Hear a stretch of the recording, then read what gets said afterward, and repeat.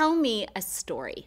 What if I were to ask you to tell me a really great story? What one would you tell? When you were a little child, what was the story you wanted to hear again and again and again? Why do you think it might be that humans tell and retell tales? My name is Susie Andrews, and I'm an associate professor of East Asian religions at Mount Allison University in Canada. And today I want to think with you a little bit about the question what does telling and retelling stories achieve for religious practitioners?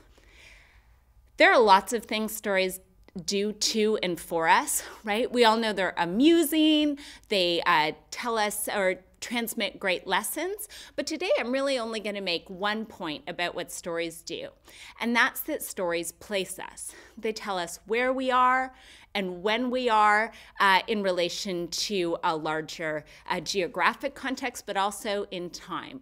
And the story I want to tell you to make my point is one from Mount Wutai. Now, I've been learning about Mount Wutai for a long time, but it might be new to you. So, what do you need to know about Wu Tai Shan? Well, the name Wu Tai Shan refers to the mountain of five plateaus one, two, three, four, five. And there's some fantastic scholarship on this site. You would want to know Raoul Birnbaum and Tansen Sen, but today you have Susie Andrews telling you one story about this place.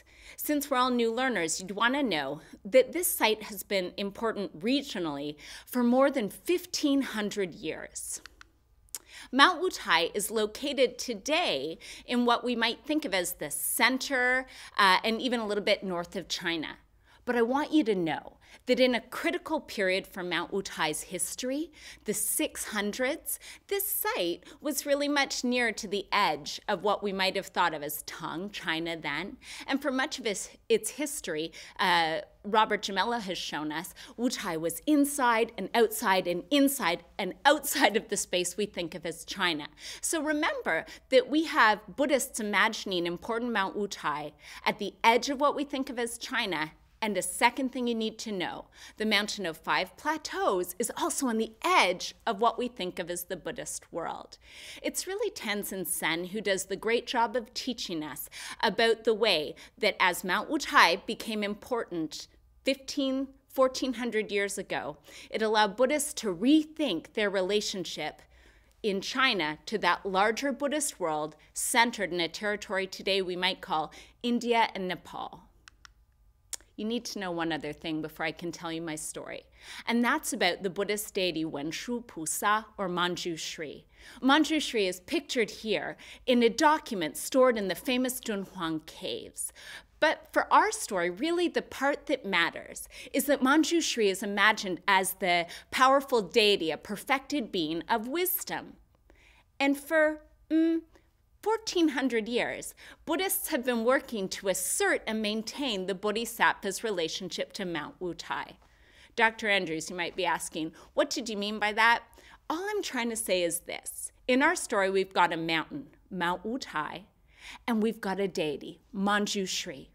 And 1500 years ago, it would have been shocking to think a deity lived on a particular site.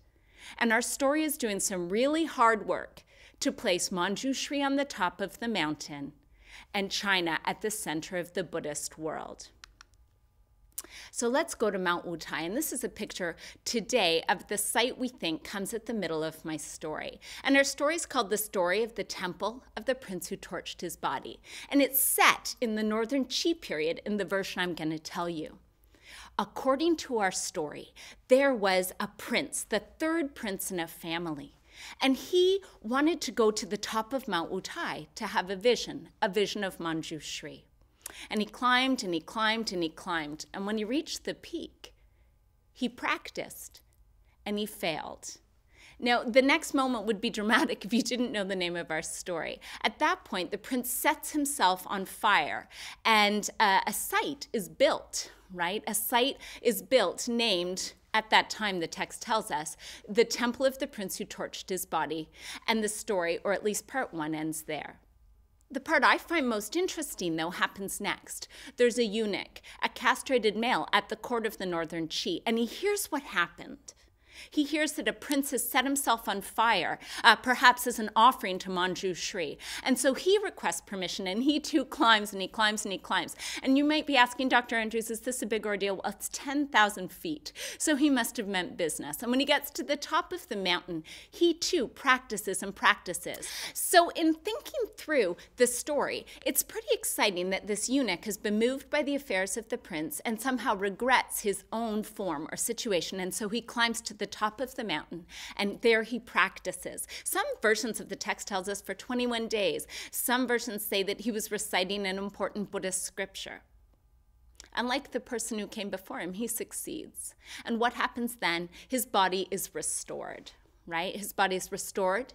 He returns to court. And we know from this time on, according to our miracle tale, uh, both the scripture he purportedly recited, the Huayan Jing, the Flower Garland Sutra, and the place uh, become important. Now, Dr. Andrews, you might be asking, what are we to make of all of this? Didn't you tell us we had an important question today?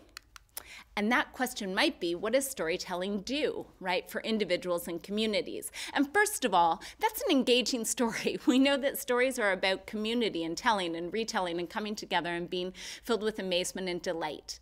But another thing that stories do is they place us. Notice how in this story, one that circulated around the year 690 and probably somewhat before that, in this story, Mount Wutai is asserted to be the home of a bodhisattva a home of a deity important to a tradition that's beginning to say Mount Wutai isn't just important locally, it's a Buddhist place. So, in this way, we can see stories placing people here, a deity, and the proponents of that deity and a cult devoted to it at a specific place in the Buddhist world.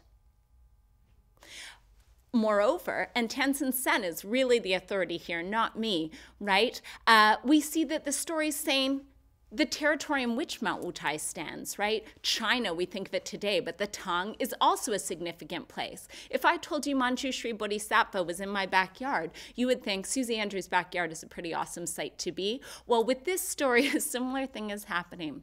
In this story, we're not only filled with delight and amazement, but we also start to think about the territory in which uh, Manjushri comes to be, right? Comes to dwell as a very special place. The story then is replaced placing China vis a vis the homeland of Buddhism as we might imagine it, uh, India and Nepal.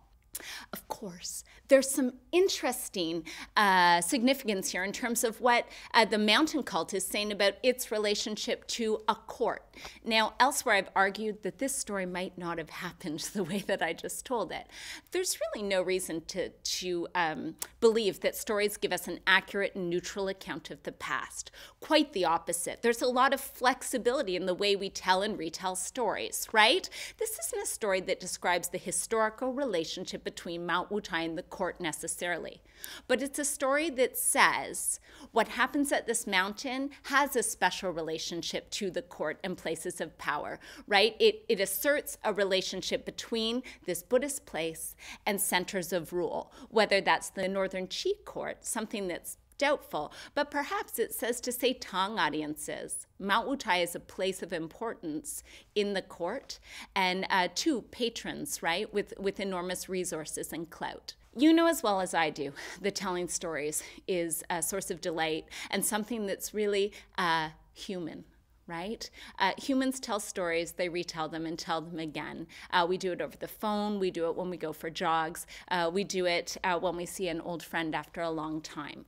Our story about Mount Wutai in uh, what we think of today as central North China shows us how stories can be very um, fruitful to the religious communities that tell them because they allow them to make big claims about why a place is important, what their place might be in a larger uh, religious community, how the place with which they're associated matters in a larger uh, in a larger uh, religious or political context.